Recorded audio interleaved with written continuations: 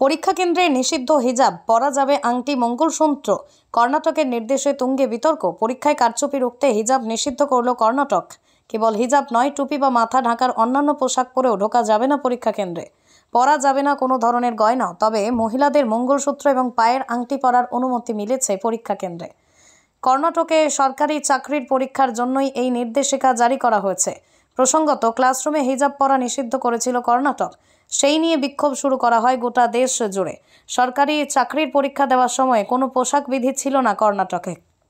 October মাসে আয়োজিত পরীক্ষাগুলোতেও হিজাব পরেই পরীক্ষা কেন্দ্রে ঢুকতে পারতেন পরীক্ষার্থীরা। কিন্তু নভেম্বর মাস থেকে হিজাব সহ অন্যান্য বেশ কিছু পোশাকে নিষেধাজ্ঞা জারি হয়েছে। পরীক্ষা আয়োজনকারী সংস্থার মতে কারচুপি রুখতেই এই পদক্ষেপ, কারণ বেশ কয়েকটা পরীক্ষায় ব্লুটুথ স্পিকারের মতো গেজেট নিয়ে ঢুকছিলেন পরীক্ষার্থীরা। তাই মুখ, মাথা, কান ঢেকে রাখা সমস্ত পোশাক নিষিদ্ধ করা হলো। এতদিন পর্যন্ত পরীক্ষা কেন্দ্রে গয়না পরা ঢোকা নিষিদ্ধ ছিল কর্ণাটকে, তবে হিন্দুত্ববাদী সংগঠনগুলোর প্রতিবাদে মহিলাদের মঙ্গলসূত্র এবং পায়ের আংটি পরার অনুমতি দেওয়া হয়েছে। যদিও আরও কোনো রকম গয়না পরতে পারবেন না পরীক্ষার্থীরা। এছাড়াও high heel jeans T shirt পরতে পারবেন না মহিলারা। কেবলমাত্র হাফ শার্ট ও প্যান্ট পরতে হবে পুরুষদের।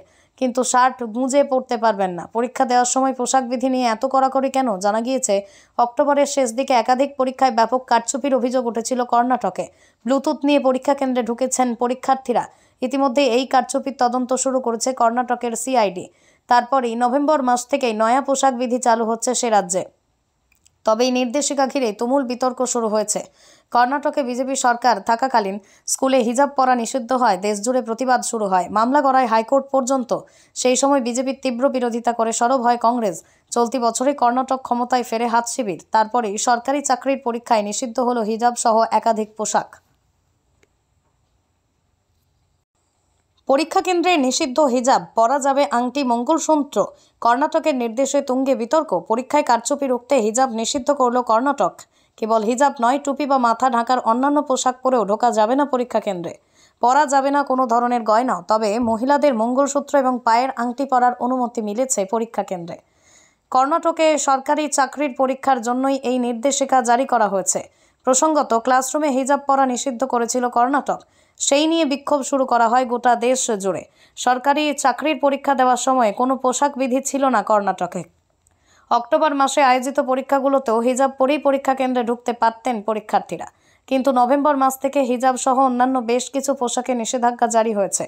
পরীক্ষা আয়োজনকারী সংস্থার মতে কারচুপি রুখতেই এই পদক্ষেপ, কারণ বেশ কয়েকটা পরীক্ষায় ব্লুটুথ স্পিকারের মতো গেজেট নিয়ে ঢুকছিলেন পরীক্ষার্থীরা।